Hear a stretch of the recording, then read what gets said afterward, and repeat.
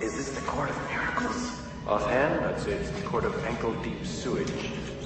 Must be the old catacombs.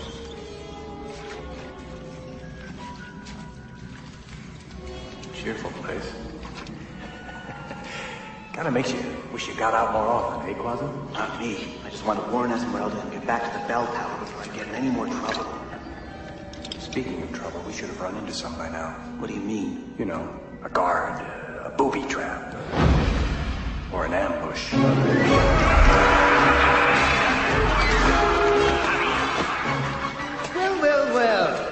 What have we here? Trespassers! Spies! We're not spies! Got to listen. Don't interrupt me. You're very clever to have found our hideaway. Unfortunately, you won't live to tell the tale.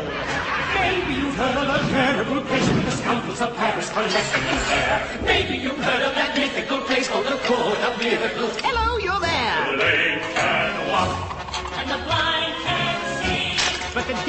don't talk. So you won't be around to reveal what you found. A method for spies and intruders rattle like hornets protecting their line.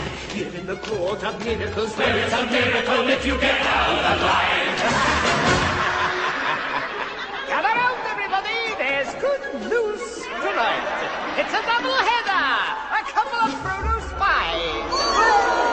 Just any spies. His captain of the guard and his loyal bell-ringing henchman. The justice is swift in the court of miracles. I am the lawyers and judge all in one. We like to get the trial over with quickly because it's the sentence that's really the fun. Any last words? That's what they all say. Now that we've seen all the evidence. Wait, I object! Overruled! Find you totally innocent.